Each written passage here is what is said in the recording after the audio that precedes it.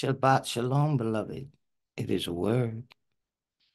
the Lord brought Potiphar's house into my mind. Potiphar's house, his wife.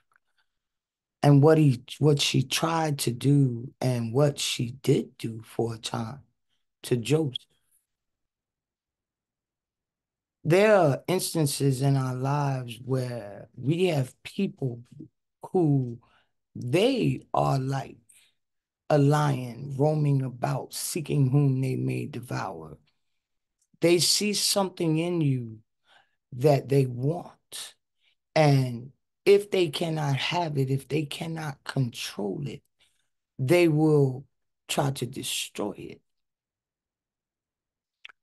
Right now in the news, there were two sisters, twins in New York this young man wanted to talk and be with one of the twin sisters, and when she rebuffed him, he killed her. The spirit of Potiphar's wife, if I cannot have you, if I cannot control you, I want your destruction. We can look at Penina and Hannah. Hannah having become the mother of Samuel. Penina and Hannah were the wives of Elkanah. Penina had children. They would go up and honor Yah at the temple and pay homage. But Hannah had no children. She was barren. And Penina loved to throw it in her face and would grieve Hannah. There are people that no matter how much they have, that spirit of jealousy, that rotten to the core spirit. The little that you have, be it peace of mind, be it a small job, whatever it is, they want it. And if they cannot have it, they are like lions. They use their mouths. They will go after your reputation. Like Potiphar's wife did when she couldn't have Joseph. She, in attempting to get him to lay with her to commit adultery, when he fled, she had his garment and she used it to tell a lie as she cried out that he attempted to rape her and had him thrown in jail. Here was a man that Yah put in her house and because Joseph was there, the house was blessed. Joseph, his wisdom, his honoring of Yahuwah made him a good steward. And yet, those exact reasons, the, the anointing on Joseph's face, for some people, your anointing is very attractive. But them not being a spiritual person, they look at your anointing as something that is lascivious in their eyes. They want, they they find it sexually attractive. They want to control you, or they recognize the blessing upon you, and they're like a lion going about seeking whom they may devour. How so? They will use their words to destroy your reputation they will go into a house where there's a faithful wife and lay down lies to make the husband think she's an unfaithful wife. They will go amongst friends and family trying to slander her name or his name. But in the midst of things like that, beloved, you hold to Yahuwah who saves to the utmost. Okay. You have people, it doesn't matter, they can be in a high place. And you're just a little small potato. But you a shiny little small potato because you belong to the great, mighty, all exalted Yahweh. And they want that little potato for themselves to do with what they will. But you see, Yah is in the midst of us, beloved. He's in our midst. And he will do above and beyond anything you could ever hope or imagine. He can take you, you who may be in prison right now. You who may be working for someone, you will come to see a day like Joseph did.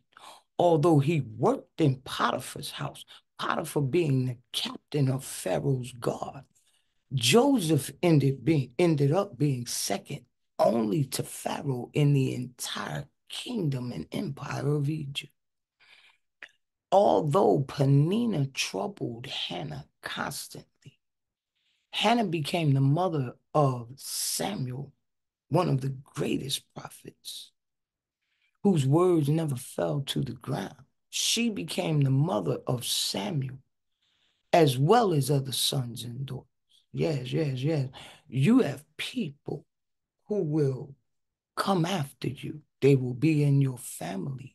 Joseph's brothers couldn't even speak peaceably to him because the anointing was upon him. It wasn't just because his father loved him, they could not speak peaceably to him. But in the end, it was Joseph that rose up and saved his father's house, as well as all those nations that came into Egypt.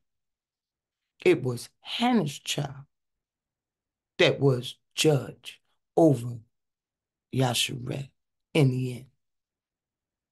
Beloved, you honor Yahuwah. He never lies. He will bring you out and raise you up. When you raise up his word, when you lift up Yeshua HaMashiach, his word, he will draw all men unto you. When you honor and glorify the laws, statutes, and commands that he gave you and honor his word, it will draw the truth out of people. No matter how many lies they tell, no matter how many times they slander your name, he will raise you up from a lowly position. They can put you in a fiery furnace using their tongues, but the Spirit of the Lord coming in with living waters will quench that fire. Beloved, it is a word as we honor, glorify, and walk in the Spirit of the Most High. As we recognize He's in our midst and He has come to check these nations for all they have done. They can call it climate change, they can call it what they would. Many of them now are quoting the word. Many of them now are trying to speak as though they are not amongst those who have done the evils they have done. But the spirit of truth is here, beloved. And the spirit of truth will testify to your spirit, leading you to all truth.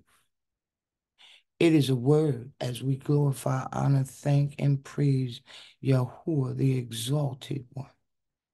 As we glorify the Lord of hosts and the Lord of saints, thanking him now and forevermore for everything we have. And let nothing in this world blind us to the beauty and the glory of the blessings he has given as we praise his mighty name and thank him for his holy word as well as his Ruach HaKodesh. Lead us, Father, keep the eyes of our spirit open and bless us. Forgive us our sins and let the blood of Yeshua HaMashiach be upon us. Let his word cleanse us that we may go forth according to thy spirit, thy commands, and thy statutes, now and forevermore until we enter into thy rest, that glorious day. Beloved, it is a word. Shabbat Shalom.